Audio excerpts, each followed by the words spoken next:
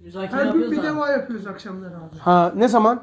Her akşam bir deva. Ne- müzakere. geçti mi? Yok yatsıdan sonra her akşam Tamam. yapıyoruz. 10 10 Hmm. 13'e falan mı? Şimdi 20. devada galiba. Bir tanesi de olumsuz telkin. Yani o kadar acayip bir şey ki e, Ebul Beşer yani insanoğlunun ikinci babası Nuh tufanı yani böyle düşününce insanın aklı gidisi gidiyor. Nuh tufanından sonra tu- ta- tufan, 20. taun böyle küre arzı kaplayan, kuşatan bir bela bilmiyor. Yok. 20. devada bak 8 tane madde var. Sayar mısın bak? Hastalığın sebeplerinden sayıyor. 8 tane. Buldun mu Mehmet? Bakıyorum abi. Yok 20. devayı buldun mu? Yok bulmadım. Ha 20. devayı açan, açan var mı? Deva yaz. Tamam mı? Deva. Deva yaz. Ondan sonra kaydır 20'ye götür. 8 tane galiba. Evet, hastalık iki kısımdır. Bir kısmı Ha okuyor. Oku. bir kısmı hakiki, bir kısmı rehmidir. Hakiki kıs- kısmı ise Şafi Hakim Zülcelal küre-i arz olan Eczane-i Kübrası'nda her derde bir deva istif etmiş. O devalar ise dertleri isterler. Hı. Her derde bir derman halk etmiştir. Tedavi için ilaçları almak, istimal etmek meşrudur. Fakat tesiri ve şifayı Cenab-ı Hak'tan bilmek gerektir. Hı. Dermanı o verdiği gibi şifayı da o veriyor. Hazır mütedeyyin hekimlerin hazık mütedeyyin hekimlerin tavsiyelerini tutmak ehemmiyetli bir ilaçtır. Çünkü eksel hastalıklar suistimalattan, Bir. Bak. Suistimalattan, perhissizlikten perhissizlikten iki, ve israfattan, iki, üç israf, dört hatiyattan, dört hata atiyattan şey sünneti seni uymamak yani. Hata. Dört. Evet. beş sefahatten, Sefaat. altı dikkatsizlikten Alt, geliyor. altı dikkatsiz. Bir tane de bu şey yok mu? Bir, bir Geliyor. Mütedeyyin hekim elbette meşru bir tane de dairede olacak. Hı. nasihat nasihat eder ve ves, vesveseye Vesaya. ha, vesaya bulunur. Vesayada bulundu. Ha. Vesayada bulunur. Su istimalattan, israfattan men eder. Hı. Teselli verir. Hasta o vesaya, vesaya ve o teselliye itimat edip hastalığı hafifleşir. Ha bu vesaya müsbet telkin demek. Nasihat eder var ya. Hekimi hazık. Hekimi hazık ne yapar? Hekimi hazıkla doktorla hekim arasında ne fark var? Doktor bedeni bilendir. Hekim ise hekim ise bedenle ruhu bir bilendir. Hekim. Ustad doktor diyor. insafsız doktorlara diyor. Hekim demez. İnsafsız doktorlara der. Denk gelirse parası da gider, sağlığı da gider. Hekim ise bedeni ve ruhu fark etmiş.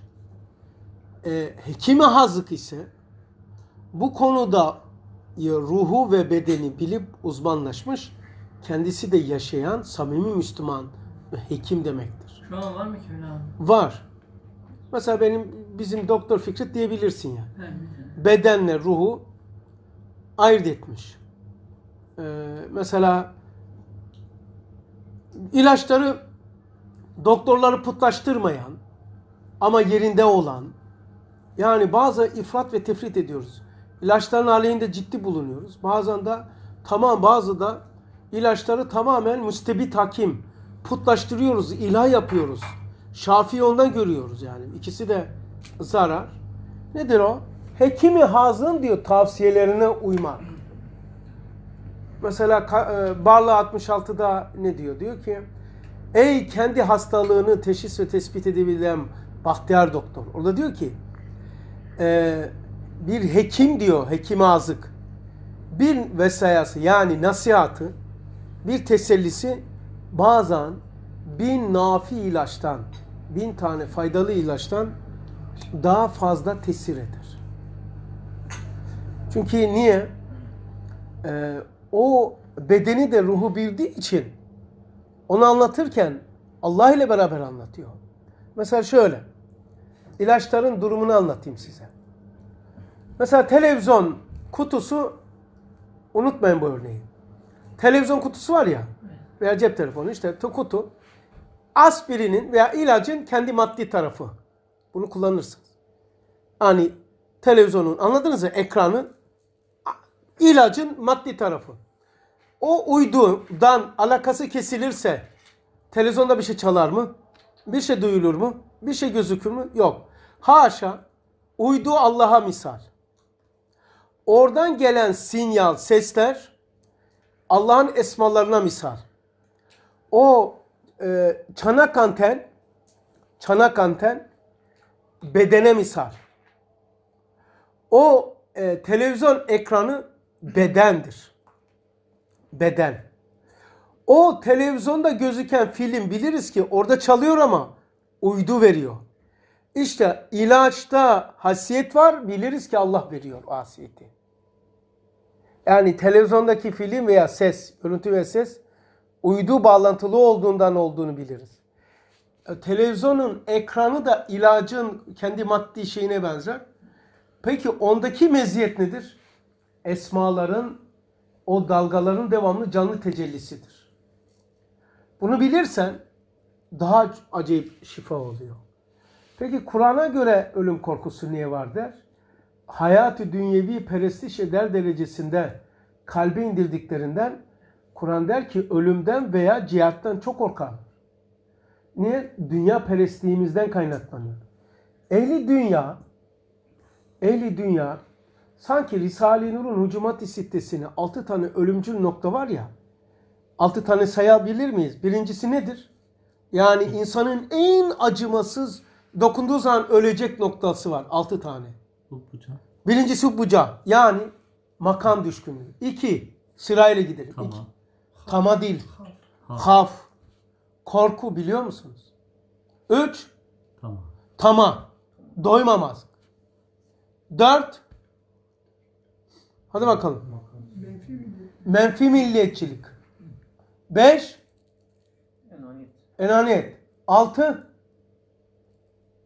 ya nasıl bir e, soy isminiz gibi ezber bilmiyorsunuz bunu? Tembellik ve temperlik. Tamam. Biliyoruz. Ha peki e, 24 ben size toplama yapıyorum hem çay içiyoruz ya. 24. sözde diyor ki Yeis'in zulümatından Yeis, yeis ümitsizlik sonuçtur ama lugata bakarsanız yeis ümitsizlik öyle değil bakın. Ustad sanki lugatını veriyor. Yeis'in zulümatından kimsesizlik vahşetinden 24. sözden söylüyorum. Erva habisenin izacatından bu vahşetin dehşetinden.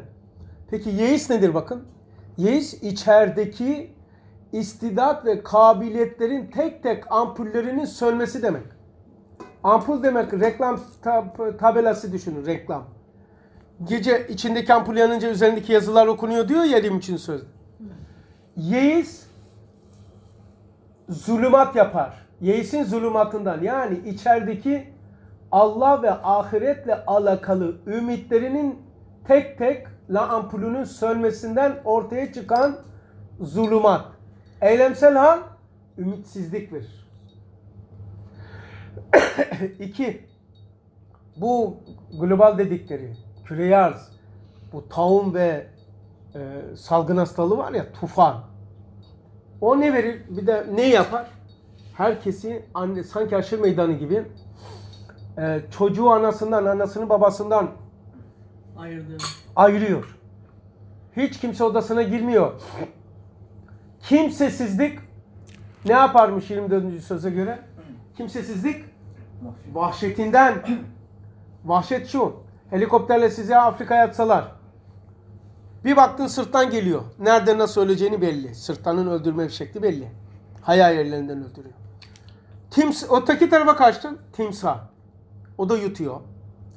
Öteki tarafa kaçtın kobra ilan o da kemiklerini kırıyor. Öteki tarafa kaçtın aslan boğazını tutuyor. Hangisini seçerdin İbrahim? Ha, o anda ölümden ölümü seçme andaki halete kimsesizlik vahşeti denilir.